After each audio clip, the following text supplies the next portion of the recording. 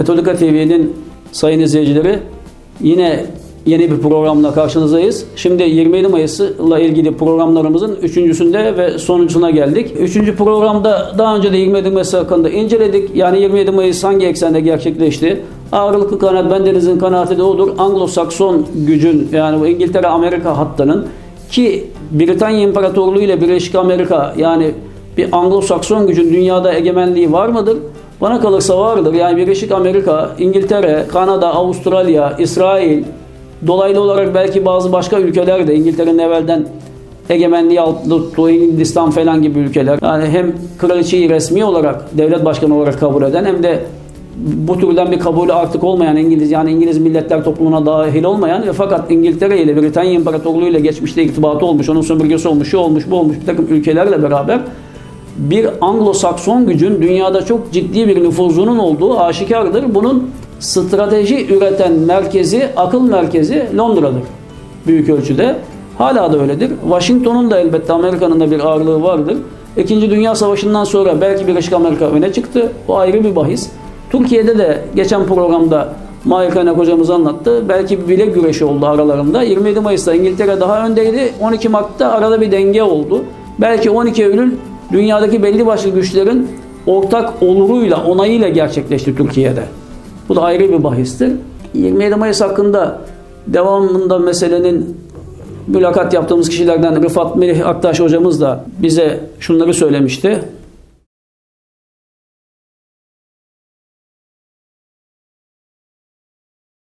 Komiteci, iddiatçı, belli geldiği bir yer var tabiatıyla. Adnan Bey'in öyle bir geçmişi yok. Evet.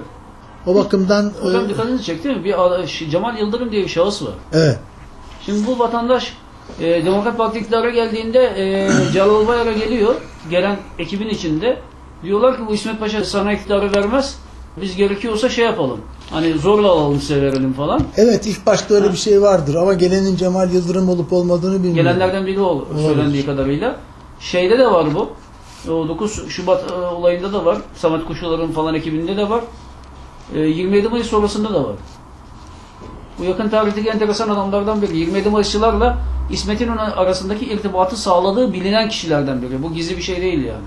Tabii tabii mümkündür böyle bir şey. Yani neticede bir milli mücadele kahramanı var.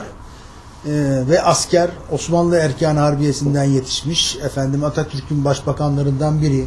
Kontrol Karşı- ediyor olabilir mi yani grupları falan? Çeşitli kişiler vasıtasıyla İsmet İnönü.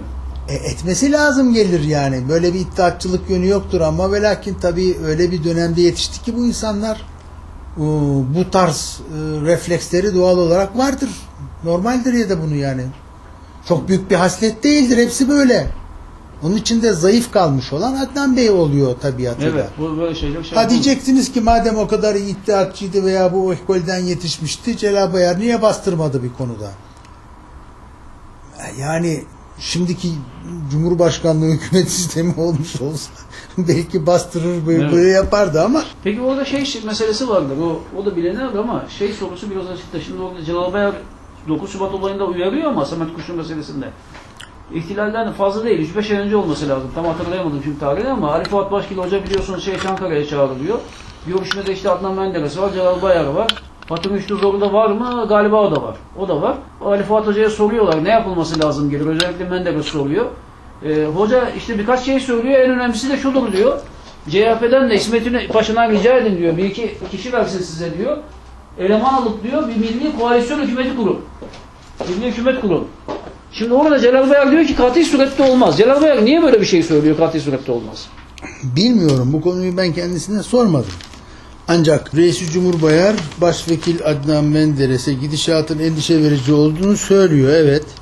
Ankara'ya geliyor Başkil. Çankaya Köşkü'ne Celal Adnan Menderes, Fatih Rüştü Zorlu ve Atif Banderlioğlu var toplantıda o esnada. O tarihteki nümayişçi öğrencilerle onları dağıtsın diye gönderilen subayların kucaklaşması çok önemli bir işaret olarak değerlendiriliyor. Siyasi tansiyonun düşürülmesini tavsiye ediyor. CHP ile diyalog kurarak hemen bir seçim hükümeti kurulmasını tavsiye ediyor. Evet. Menderes çözüm olacaksa bunu kabul edeceğini söylüyor. Dikkat edin. Evet. Fakat Bayar sertlik yanlısı buna karşı çıkıyor. Uzlaşmanın zaaf olacağını söylüyor. tenkil, tenkil tabiri o zamandan intikal etmiştir. Ve darbenin en etkili gerekçelerinden biri o tarihlerde kurulmuş olan tahkikat komisyonu meselesi. Evet. Şimdi işte orada Bayar'ın o tavrı niye öyle? Orada Valla toplantıda toplantıda e, bulunanlardan kimse hayatta değil. Ama sormak lazım. E, karakteri de onu icap ettirir. Acaba aynı durumda İnönü olsaydı ne yapardı? O da tenkil öyle der tabii. miydi demez miydi? Ona bakmak lazım. Yani tamamen tek tarafa yükleniyorsunuz. Bu tahkikat komisyonu anayasal bir durum. Yani kurulması şey değil. Ee, Keyfi değil. Keyfi değil veya kanuna anayasaya uygun. Ama burada CHP'nin yıkıcı faaliyetlerinin araştırılacak olması o tabi kamuoyunda muhalefette efendim neticede CHP'nin kapatılmasına kadar gidecek ana muhalefetin yok edilmesine kadar gidecek bir yol diye büyük bir endişe duruyor. Zaten hoca da söylemiş tahkikat komisyonu anayasaya göre kurulabilir fakat siyaseten yanlıştır. Derhal son verdiğinizi Evet. açıklayın diyor. Evet. Tahkikat komisyonuna sorgu hakimi yetkisi ve yayın yasağı koyma yetkisi verilmiş olması kesinlikle anayasaya aykırıdır diyor. Onun için onlara anılarında bunun Fuat Hoca'nın başka hocanın anılarında olması lazım. Ve yine konu hakkında Aytunç Altındal'ın da tabi görüşlerini aldık. Ona da burada yer vermemiz gerekiyor. Merhum Aytunç Altındal 27 Mayıs hakkında bize şunları söyledi.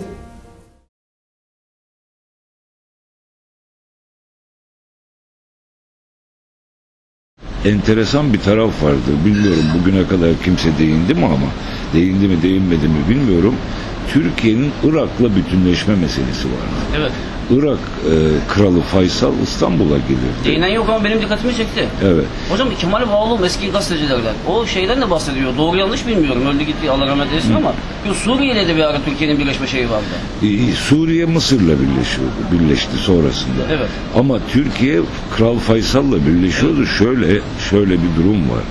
Şimdi e, Abdülmecid Efendi'nin kızı Dürü Şehvar Sultan. Evet. O Haydarabad nizamı ile evlendirilmişti. Evet. Dolayısıyla onun oğlu Bereket Şah Bereket Şah o sırada İstanbul'daydı ve İstanbul'da onları hem Kral Faysal'ı genç bir kraldı, evli değildi. Hem Kral Faysal'ı hem de Bereket Şah'ı Türk kızlarıyla, Türk saraydan gelen veya saray kökenli ailelerin kızlarıyla evlendirme projesi yürürlükteydi. Böyle bir olay vardı. İşte e, Bereket Şah evlendi. Menemencioğlu'nun kızıyla evlendi. E, Kral Faysal için de bir e, gelin adayı vardı Türkiye'de. E, o da Osmanlı Hanedanı'ndan Hanzade'ydi. Evet. Hanzade ile evlendirilmek üzereydi. Bu olaylar patlak verdiğinde bakıyorsunuz geri planda böyle bir de böyle bir fotoğraf da var bir yerlerde. Duruyor bu fotoğrafta. Böyle söylemek şey olacak, uygun olacak mı bilmiyorum da ben onu çok kısa gazetesinde yazdım ama bu şekliyle değil de böyle bir şey vardı. Ben Metin Toker'den okudum. Menderes'in böyle bir şeyi vardı, niyeti vardı. Evet. Başımıza iş açacaktı, zor engelledi gibisinden bir şeyler yazmıştı. Ben buna değindim. Evet. Şimdi şimdi e, böyle bir olay Evet. vardı ve böyle bir olay gerçekleşmek üzereydi. Bunun gerisinden gelecek olan da Türkiye ile Irak'ın birleşmesiydi. Şimdi Irak biliyorsunuz İngilizlerin kontrolünde olan bir yer. Evet. Irak'ı kuranlar İngilizler. Hatta kuran da bir kadındır yani Gertrude Bell diye bir casus bir kadındır. Irak'ı kuran kadın. Benim Türkiye'de ve casuslar, dünyada casuslar diye bir kitabım var. Orada anlattım ben bunu. Gertrude Bell o kadar da e, bu işlerden pişman olmuş ki yaptıklarından e, intihar etmişti yani. Ben böyle bir işler yapmak istemedim falan diye. Neyse bunu da geçelim. Böyle bir anekdot gibi Evet. anlatıyorum yani. Şimdi İngilizler tabii ki Irak'ın Türkiye ile birleşmesini falan filan asla istemiyorlardı. Böyle bir olay yoktu. Ve e, İngilizlerin özellikle de e, 6-7 Eylül olayları sırasında bir başka fotoğraftan yola çıkarak nedir o fotoğraf? Türkiye'nin çok güçlü bir Dışişleri Bakanı vardı. Fatih Rüştü Zorlu. Fatih Rüştü Zorlu Bey gerçekten de e, Türkiye Cumhuriyeti Devleti'nin gelmiş geçmiş en başarılı Osmanlı'dan gelen tecrübeleriyle en başarılı Dışişleri Bakanı'dır. Fatih Rüştü Zorlu o sırada Kıbrıs'ta Vali Fut diye bilinen F-O-O-T diye bilinen bir şahıs vardı. Valiydi bu, İngiliz valisiydi. Bu valiyle takışmış durumdaydı. Ve İngiltere'nin Kıbrıs üzerindeki haklarını vesaireyi de kabul etmiyordu. Aslında Türkiye'nin Kıbrıs'ta çok bir hakkı da yoktu. Hiçbir şeysi yoktu. Fakat o dönemden itibaren e, bazı girişimler başladı. Şimdi bunları böyle bölük pörçük anlatıyorum ama Demokrat Parti'nin icraatları safhasında anlatıyorum. Ve e, Fatih Rüştü Zorlu'nun girişimiyle, isteğiyle Doktor Fazıl Küçük tarafından ve genç olarak da tabii Rauf Denktaş tarafından burada bir de bir aile vardır. O ailenin adı geçmez ama o ailenin de büyük katkısıyla Kıbrıs'ın büyük ailelerinden Manyana ailesi. Manyanalar Kıbrıs'ta çok etkili bir aileydiler. Hukukçuydu bunlar. İngiltere'de yaşıyorlardı. Hem Kıbrıs'ta hem İngiltere'de. Yani iki pasaportları vardı. O dönem öyleydi yani. Kıbrıslıların çift pasaportu vardı. Ee, dolayısıyla o ailenin de büyük katkıları oldu. Ee, Fazıl Küçük ve e, Rauf Denktaş beylere. O arada tabii TMT kuruldu. Türk Mukavemet Teşkilatı ve Türk Mukavemet Teşkilatı içine tabii ki Türkiye'den istihbaratçılar Kıbrıslı bilmem saatçi, işte saat tamircisi, ayakkabıcı vesaire gibi gönderildiler ve onlar da orada ilk mücahit diye bilinen örgütlenmeleri yaptılar. Şimdi bunlar Demokrat Parti'nin siyaseti içindeydi. Bu arada seçimler vesaire oldu, bitti. Onları geçelim, onları çok fazla üstünde durmaya gerek yok. 54 seçimlerini Demokrat Parti kahir ekseriyetle kazandı. Yani bir hezimetle kazandı. İsmet Paşa ve Cumhuriyet Halk Partisi artık iyiden iyiye çökmüş durumdaydı. Fakat ben daha enteresan bir noktaya değineceğim. 1960 25 Mayıs tarihinde demin sözünü ettiğim 58 yılında Türkiye'ye gelip bir yıl süreyle İstanbul Üniversitesi Hukuk Fakültesi'nde ders veren Amerikalı bir hoca ajan tabii. Pentagon'a bir not geçiyor. 25 Mayıs 1960. Diyor ki Menderes mutlaka güç kullanılarak devrilmelidir. Evet. Aynen böyle. Ondan sonra da bu notu yazıyor aynı şeyin altına, notun altına. Bugün diyor öğleden sonra Heder Morlion, Morlion, Morlion ile görüşme yapacağım. Roma'da Amerika'nın çıkarları için bir üniversite kuracak. Rahip Morlion çok önemli bir adam. Evet. Bu adam eski bir komünist fakat Vatikan istihbaratının başına geçmiş. Vatikan istihbaratını CIA adına Vatikan istihbaratını yönetiyor. O Morleon'la bir görüşmesi var. Bu da çok manidar çünkü çok daha sonra bu Morleon'u başka bir yerde görüyoruz. Dolayısıyla e, bu adamın notundan sonra iki gün sonra da, darbe oluyor. Rahip Morleon dediğim gibi o sırada istihbaratı yönetiyor. Vatikan istihbaratını ve aynı zamanda CIA ile Vatikan arasındaki bağları sağlıyor. 27 Mayıs oluyor ve adam bir not daha yazıyor. İşte nihayet diyor Menderes devrildi. Artık Türkiye'deki dostlarıma bazı açıklamalar yapabilirim. Evet. Bu çok mühim. Bunun belgesi de bende duruyor. Şimdi 27 Mayıs olayını yaşadığımızda daha sonraki yıllarda ben bir dergi çıkardım Süreç diye. Orada Süreç dergisinde 27 Mayıs'ın CIA tarafından yapıldığını anlatan bir Fransızca belgeyi kullandım. Tabii o sıralarda 27 Mayıs hep göklere çıkartıldığı için efendim 27 Mayıs iyiydi, devrimdi. Devrim mi, ihtilal mi darbe mi tartışmaları çoktu. Bana göre askeri darbeydi. Evet. Ama başkaları bunu devrim diye Türkiye'de lanse ettiler vesaire. Yılmaz Güney'in filmlerine Vatikan ödülleri verdi diyor. Çünkü sinema işlerini, propaganda işlerini Morlyon yönetiyor. Yılmaz Güney iki tane Vatikan'dan ödül alıyor filmlerinde dolayı. Güzel güzel. Evet. Şimdi Ağaca olayını tabii Uğur Mumcu'yla ikimiz çok araştırdık ve çok bazı çok enteresan taraflar da var. Şimdi Ağaca'ya diyorlar ki Antonov diye birisi var. Bulgar. Hava yollarında çalışıyor. Bulgaristan Hava Yolları'nda. Antonov bu işleri yönetti, yürüttü. Antonov'u ben gördüm. Antonov böyle çek şey, cılız, zavallı bir adam. Yani böyle planlar yapabilecek falan filan. Ne kafa, ne beden, ne de ruh var adam. Böyle bir şey yok. Zaten genç yaşında da öldü yani. Adam bezgin, bıkmış, yok bir adamdı yani. Neyse bu Antonov diyorlar. Mahkemede savcı sen Antonov'la konuştun mu dedi şeye.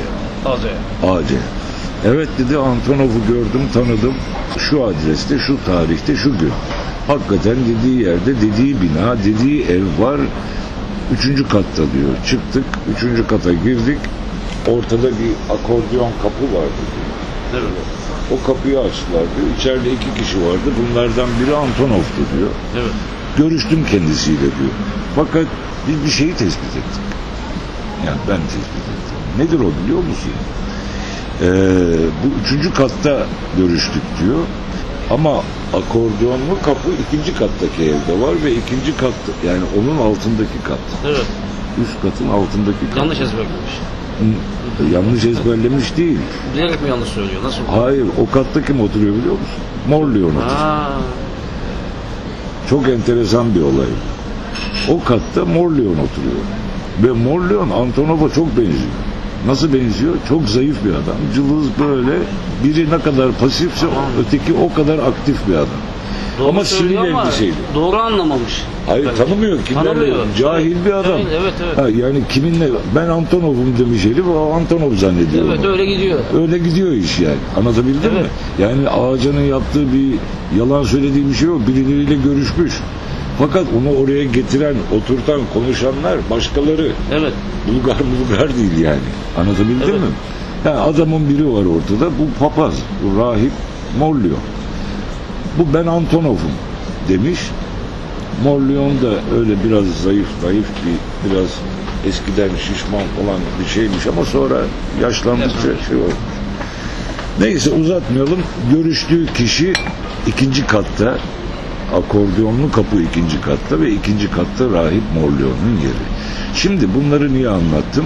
Olayların bağlantıları 25 Mayıs 1960'da Türkiye'de ajanlık yapmış olan bir hukuk profesörünün Evet. görüştüğü kişi ile aynı şahsı daha sonra Mehmet Ali Ağacı olayında görmek hakikaten böyle bir rastlantıysa eğer bu garip bir rastlantı değilse de benim şanıma uygun olarak bir komplo teorisi olarak tarihe geçsin. Ve yine 27 Mayıs hakkında yaptığımız bu üç programı Murat Belge'nin konu hakkında söylediği çarpıcı bazı sözlerle tamamlıyoruz. Murat Belge o tarihlerde daha doğrusu 27 Mayıs'tan önce İsmet İnönü'nün dayısı Yakup Kadri Kara Osmanoğlu'na bir not gönderdiğini, bu notta bir pusula Yakup 27 Mayıs'ı bekle diye yazdığını İsmet Paşa'nın kendi el yazısıyla. Tabi bu tarihi vesika belge oluyor aslında. Ancak diyor Murat Belge işte bunu halamda var, halam durduruyordu. O saklıyordu, halam kaybetti falan diyor. Ama tabii Murat Belge'nin yani o pusula kaybolmuş olsa bile Murat Belge'nin bu anlatımı da önemlidir. Burada Murat Belge'nin bu anlatımına da yer veriyoruz.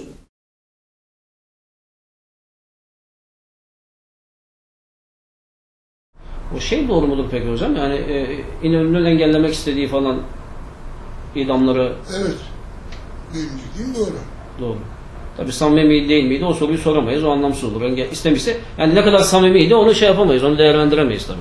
Ya samimi yani şey samimi derken e, işte Menderes'i çok seviyordu da falan o anlamda değil ama şey de yani bunun Türkiye için işleri kötüleştirecek bir olay olduğunu samimi olarak düşündüğünü tahmin ediyorum. Evet. Ya İnönü çünkü aslında ciddi potansiyelleri olan bir adam. Yani kafası mafası boş bir adam değil. Hayır, bunun hayır getirmeyeceğini Evet. Gerçi bu anlay onu anlayacak da anlay- kapasitesi olan biri birikimi olan birisi. Kan davası getiriyor yani Türk politikasına kan davası getiriyor. Yani bunu görmeyecek bir adam değil İnönü. Evet. Ondan sonra sen yani bu ben demokratım diyen adamla ben Halk Partiliyim diyen adamı yani kolay kolay bir masaya falan oturtamayacaksın. Yani bu da kolay göze alınacak bir şey değil. Peki ihtilalden 27 Mayıs'tan e, tabii. E, İsmet Paşa'nın haberi mi vardı? Kontrol mü ediyordu? Hiç haberi yok muydu? Yoksa Haberi direkt vardı yönlendiriyor muydu? Haberi vardı bence. Haberi var değil mi? Vardı. Yani benim dayımdan falan yani Yakup Kadri'den falan bildiğim e, bir kart yolluyor falan. Şimdi onlar yok tabii kayboldu gitti. Benim halam da e, göz göre göre kaybetti onları. Yani bir kart vizitine bir şey yolluyor falan oradan şeyi anlıyorsun yani. 27 Mayıs'ı bekle. İnönü'nün Yakup Kadri şeyi Murat Belge hocamızın konu hakkındaki anlattıklarını da dinledik. Bu şekilde 27 Mayıs hakkında yaptığımız 3 programda nihayete erdi. Tüm bunların hepsini inşallah en yakın zamanda en geniş şekliyle bir kitapta da yayınlayacağız ve sizlerle buluşturmaya çalışacağız bakalım. Hepinize saygılar sunuyor ve hayırlı günler diliyoruz. Diğer programlarda görüşmek üzere.